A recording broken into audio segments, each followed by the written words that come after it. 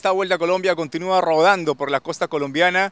De lo que vimos en la contrarreloj individual, un Oscar Sevilla bastante fuerte y también un grupo de corredores que le pueden hacer etapa, le pueden hacer carrera al español en busca del título de la versión 2016 de esta Vuelta a Colombia. El mismo Oscar Sevilla lo dijo.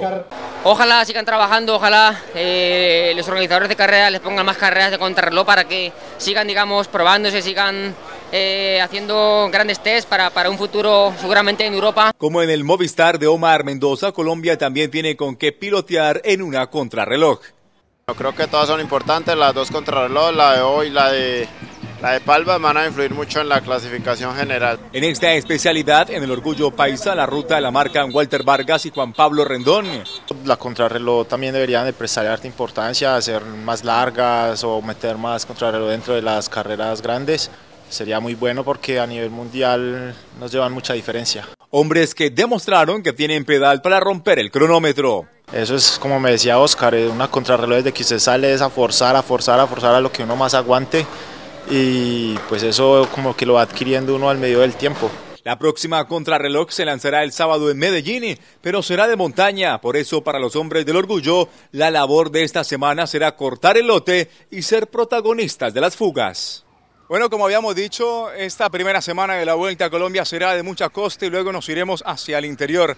Esto es lo que hemos registrado en tres días en la costa colombiana, dos días de competencia con la Cámara de Hora 13 Noticias. Servita de leche, coca de coco y estas también son de coco con leche. Arjona hizo sentir su dulzura. Este es enyucado. ¿Enyucado? Bolas de tamarindo.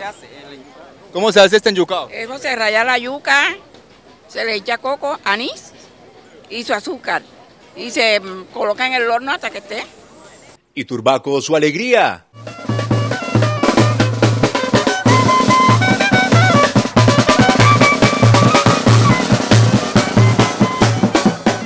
Estas dos poblaciones del departamento de Bolívar mostraron lo mejor de su cultura en el paso de la Vuelta a Colombia. Nuestro municipio se caracteriza por ser un municipio garante del bollo de mazorca y el queso. ¿Y por qué salieron hoy a, a dar esas degustaciones? Porque nosotros queremos que conozcan nuestro pueblo, lo hermoso que es su gente y lo que hace su gente.